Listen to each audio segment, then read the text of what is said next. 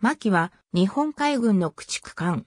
艦名は奈良型駆逐艦の4番艦、牧に続いて2代目。一等駆逐艦、牧は松型駆逐艦の8番艦。1944年8月10日に竣工。訓練部隊の第11水雷戦隊に所属した後、第31戦隊霊下の第43駆逐隊に編入された。都市号作戦に伴う10月下旬の冷凍機械戦では、小沢機動部隊所属艦として参加する。10月25日の空襲では、沈没した駆逐艦、秋月の乗組員を救助する。続いて、軽巡、イスズと共に、空母、千代田の救援を試みたが成功せず、牧も空襲で損傷した。修理後、第41駆逐隊と共に、空母、巡洋を護衛して、マニラ輸送作戦を実施した。キロでは 41× とともに、戦艦、春名と巡洋を護衛中、長崎沖で、米潜水艦の来撃により損傷した。修理後は、内海西部で待機する。1945年4月6日夕刻の大和特攻部隊出撃では、駆逐艦3隻として、文後水道の対戦相当を行った。終戦後は福音輸送に従事した。後にイギリスに引き渡され、解体された。1944年2月19日、本艦は、歌唱第5488号艦として、舞鶴海軍交渉で寄港。6月5日、建造中の駆逐艦や解剖艦と共に命名される。同5日付で、駆逐艦3隻は松型駆逐艦に類別される。6月10日、牧は浸水した。7月1日、日本海軍は、駆逐艦、村雨水雷町、軽巡洋艦、北上水雷町等を歴任した石塚久志少佐を、牧偽装委員長に任命する。同日府で、舞鶴海軍交渉の牧偽装委員事務所は事務を開始した。8月10日、収益。偽装委員事務所を撤去した。石塚少佐も正式に牧駆逐艦長となる。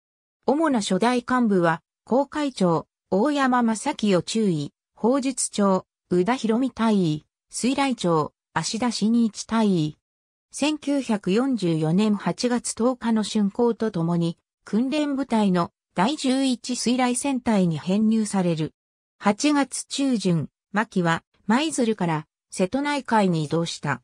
第2遊撃部隊や協力艦艇、部隊とともに内海西部で訓練を行う。後日、牧と行動を共にする、両月も8月上旬から内海西部で11水戦と訓練を行っている。9月30日付で第31戦隊機下の第43駆逐隊に編入された。ネームシップの松はすでに沈没しており、第43駆逐隊は本艦の編入で4隻編成となった。当時の航海長が病気で退官し、後藤栄一郎注意が10月7日付で、牧公会長に任命されるまで本館は、公会長欠員だったが、任務は続行された。10月10日、第43駆逐隊から松が除籍され、松型6番艦、霧が編入される。10月17日朝、アメリカ軍がフィリピン、レーテ湾のスルアン島に上陸した。翌18日夕刻、日本軍は早1号作戦を発動した。本作戦は、第一機動艦隊司令長官、小沢治三郎中将が率いる機動部隊が、おとりとなって、第38任務部隊を引きつけ、その暇に、第二艦隊司令長官、栗田武雄中将率いる、第一遊撃部隊が、レーテ湾に突入し、アメリカ軍の上陸部隊を撃破するというものであった。第三艦隊の本来の護衛部隊は、第二遊撃部隊だったが、台湾沖航空戦の残敵相当に駆り出されてしまった。さらに秋月型駆逐艦、冬月と両月が日本近海で相次いで潜水艦に撃破され、修理を余儀なくされた。機動部隊の水上兵力不足という事態に対し、練習部隊の第11水雷戦隊から軽巡洋艦、玉と駆逐艦、杉尾、対戦部隊の第31戦隊を内地所在の軽巡、大淀をそれぞれ機動部隊の護衛部隊に編入した。当時、第31戦隊司令官は機関を、イスズから牧に移し、イスズは、呉で整備を実施、牧と、宋は、大分県佐伯において訓練中だった。この後、第31戦隊機関は、大淀に変更された。また4光線のうち空母、巡洋と流砲は搭載する航空隊がなく出撃しなかった。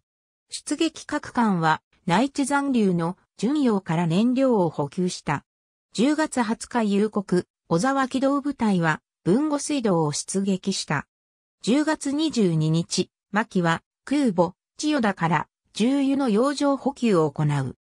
10月23日午前より、小沢機動部隊は対戦警戒を主とした第一警戒高校序列から対空警戒を主とした二つの臨形陣に切り替えた。10月24日、燃料不足の松型2隻は、小沢機動部隊から分離、沖縄方面に退避した。10月25日の縁画の岬沖海戦における、牧は、軽空母2隻及び、航空戦艦、日向を中心とする第2軍を構成していた。朝8時からの空襲第一波で、8時56分に、駆逐艦、秋月が合鎮した。牧は、我れ、秋月の救助に甲府を打電して救助活動を行う。第2軍の指揮を取る第4航空戦隊司令官松田千秋少将は9時に牧に対し沈没駆逐艦の救助に行けと命じた。牧は秋月乗組員の救助を実施、秋月駆逐艦長も収容した。戦闘はなおも続き、9時37分に千歳が沈没、下月が乗組員を救助した。10時頃からの空襲第2波で、千代田が航行不能となり、4隻が援護を行う。イスズは千代田の栄光を試みていたが、燃料不足や空襲により成功しなかった。敵機動部隊接近の気配もあった。4光線司令官は2隻に、千代田を処分し北方にたいと命じ、午後1時30分以降、下月を率いて北方に向かった。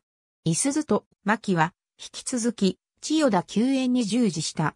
イスズは幾度も栄光を試みていたが、14時14分に被弾して火事故障状態となり、ついに栄光を断念するに至った。イスズは千代田艦長城、栄一郎大佐に敵の空襲下におて栄光派混乱と任無人員を救助、したるご処分することにして廃下と進言し、牧に対しては、我が家事故障負け八代田に横付けし人員を救助、したる五艦を処分せよと指示した。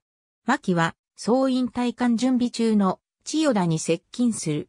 だが15時頃より空襲が始まり、イスズは、千代田側に日没頃まで非対し再、美これの付近に引き返しすと伝え、牧に、金よりでと命じた。15時25分、牧は、イスズを追求して、我が進路0度にて非対すと信号してきたので、イスズは我が人力操だ中金宿り切るなと返信した。走行しているうち、牧は15時30分頃に被弾した。発揮可能速力20ノットに低下、戦死者31名と負傷者35名を出した。牧に救助されていた秋月乗組員からも戦死者や負傷者が出た。15時40分、イスズは牧に今より千代田の処分に行くと信号を送ったが、敵機の襲来により損傷中の2隻は退避を続けた。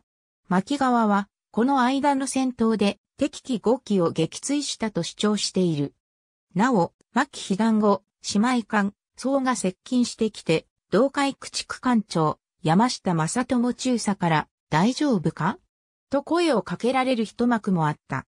また単艦で引き返す秋月型4番艦、初月と遭遇、信号を交わしてすれ違うが、この後、千代田と初月は、米軍水上艦部隊に撃沈された。付近にいた各艦は、初月の奮戦により助かったと言える。開戦後、10月26日16時沖縄本島、中城湾に帰島した。ここで2隻は、宋から随砲セゾン車を受け入れ、宋と牧は山下少佐の指揮下で、奄美大島に向かう。補給部隊のタンカー、高根丸から240トンの重油を補給してもらった。奄美大島で末期に収容されていた秋月生存者の一部は航空戦艦伊勢に移された。フィリピンへ向かった2隻を除く機動部隊残存艦は10月29日暮れへ帰投した。末期は約20日間呉海軍交渉で修理を実施した。末期の修理完成直前、第31戦隊は第5艦隊に編入された。冷凍機械戦で第2艦隊は戦果のほどはさておいて多数の弾薬を消費した。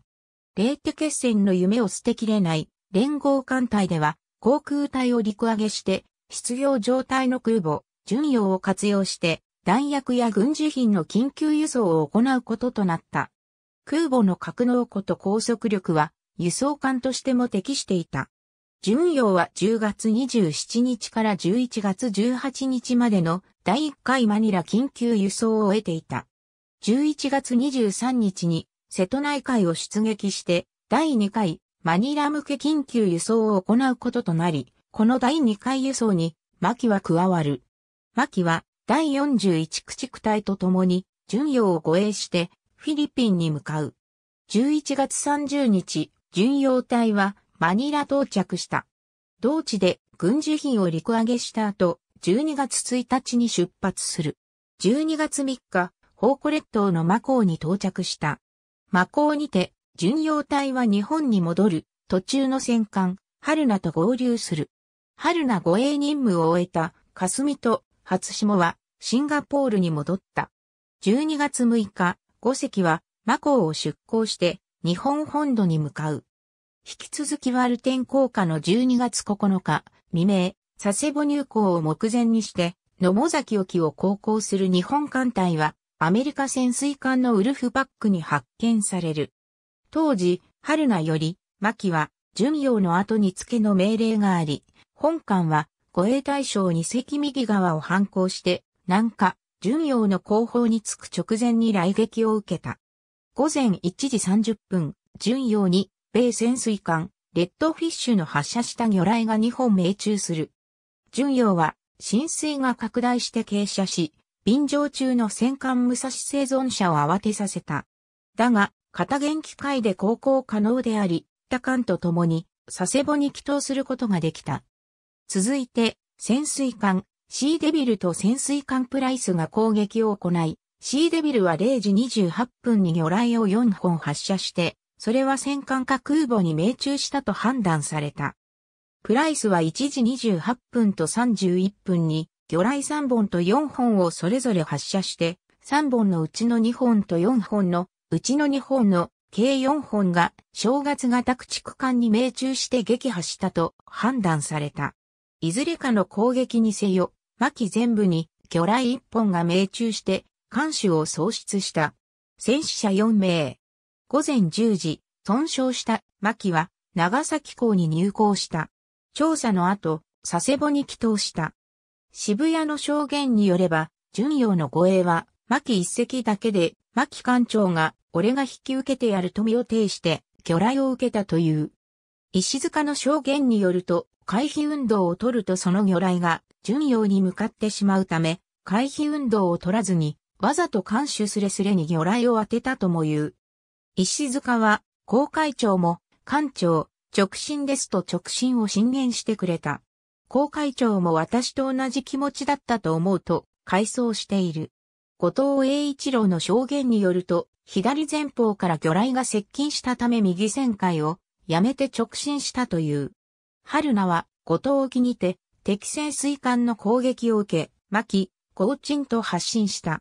牧は三菱長崎造船所で1945年3月15日まで修理を行った。またこの時大型水中超音機も装備した。修理完了後は呉に開港された。第5艦隊は前月5日に解体されており、第31戦隊は連合艦隊付属を経て第2艦隊に編入されていた。第2艦隊編入時の第31戦隊機関は秋月型駆逐艦、下月であった。3月19日、米軍機動部隊艦上機による呉軍港空襲が行われた。この戦闘で 43× 両艦、竹が機銃走者で若干の被害を受けた。28日17時30分、第31戦隊を含む第1遊撃部隊は、佐世保開港のため呉を出撃したが、直後に開港は中止された。翌29日、駆逐艦、響きが嫌いで損傷、栄光されて、呉に帰投した。4月5日夕刻、第1遊撃部隊の沖縄出撃が伝達され、第31戦隊は出撃各艦に弾薬を移乗した。6日15時20分の第1遊撃部隊徳山沖、出撃では、五防備戦隊の各部隊や解剖艦、滋賀等と協力し、全路総統隊として、文後水道出口まで第一遊撃部隊に随伴した。16時20分、伊藤中将より、祈祷命令があり、第31戦隊は引き返した。第31戦隊は、待機部隊に編入され、第11水雷戦隊司令官の指揮下に入った。4月20日をもって、第2艦隊や第2水雷戦隊が解体され、第31戦隊は連合艦隊付属になった。5月20日、軽巡、北上特畜艦、波風及び第31戦隊を機関として海上停進部隊が新編され、第43駆逐隊の牧も同停進部隊所属となる。出撃の機会はなく、瀬戸内海で訓練と待機の日々を過ごした。以後は瀬戸内海で数回の対空戦闘を行ったが、無傷で終戦時は呉に在泊していたとも、3隻で山口県八代島の氷見海岸に疎開し、そのまま終戦を迎えたともされる。10月5日に除籍。12月1日に特別輸送艦に指定され、福音輸送に従事。1947年8月14日、賠償艦としてシンガポールでイギリスに引き渡された。その後、牧は解体された。1944年9月の牧艦型略図。25立方ミリメートル連装機14機、同単装12機を装備。艦長たちの軍艦史364から365ページによる。石塚久志少佐1944年7月1日から1944年8月10日。石塚久志少佐1944年8月10日。ありがとうございます。